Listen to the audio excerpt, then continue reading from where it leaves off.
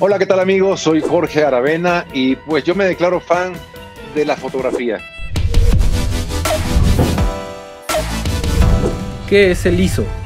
El ISO, pues es la sensibilidad que le das al sensor para, para que le llegue más luz o, o menos luz este, a una cierta fotografía.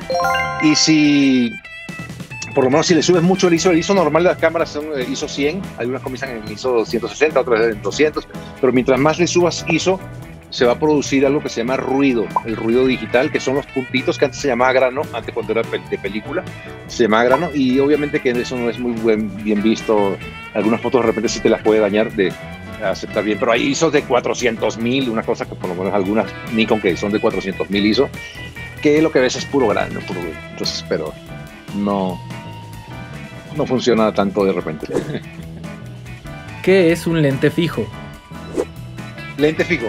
Lente fijo es este. Hay lentes de óptica variable y el lente fijo, óptica fija es cuando tienes este el, eh, la apertura eh, oh, perdón, el, zoom es, no, tiene zoom, sino es 24 milímetros fijo.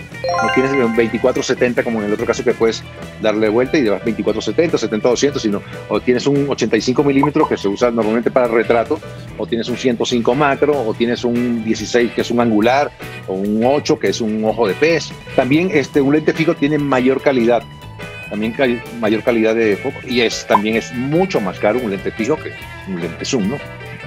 Menciona tres tipos de lentes. Tres tipos de lentes. Pues el, lente fijo, el gran angular, un tele, este, un macro, ya van cuatro. A mayor apertura de diafragma. A mayor apertura de diafragma, lo que pasa es que puede pasar este varias cosas. A mayor apertura de diafragma te puede entrar más iluminación, puedes tener más, más iluminada la foto y también vas a tener más desenfoque o sea, más desenfoque atrás. ¿Qué tipo de lente es un 70-200? Es un lente zoom, un lente zoom 70-200 que se usa mucho para retrato, para eh, también para para animales también, hasta cuando estás en la selva o algo así, pero tampoco, si necesitas un poquito más, ¿no? Necesitas un, 600, te, te llega hasta 200, pero... ¿Cuánto ángulo de visión en promedio te puede dar un lente ultra gran angular? No, te puede dar hasta, eh, hasta 90 grados. Eh, perdón, hasta 180 grados. O sea, 90 grados no. ¿A qué se le conoce como un lente luminoso? A lentes que tenga diafragmas muy abiertos, 1.4, 1.2, este, que, tenga, que, que tenga la oportunidad de abrir el diafragma muchísimo. ¿Quién se dice que inventó la fotografía? ¿Quién se dice que inventó la fotografía? Pues no, ahí sí no te, no te, no lo, no lo, tengo, sí lo he leído, obviamente, porque sí he leído, de hecho tengo una cantidad de libros y todo eso, pero son, son informaciones que no, la, que no las guardo, sino me las leo así nada más por, por, por leerlas, ¿no? Pero no, no así que me pongo a estudiar, no, y Ansel Adams fue no sé qué, y este el otro fue el otro, y este, o sea, no, no, me pongo a... Menciona tres nombres de marcas de fotografía profesional. De marca, este, Canon, Nikon, Profoto, eh, ahí van, ya van tres, este, pero Fujifilm, ¿A qué se le conoce como pintar con luz en la fotografía? Pues este, a iluminar. La materia prima es la luz. Sin luz no existe fotografía.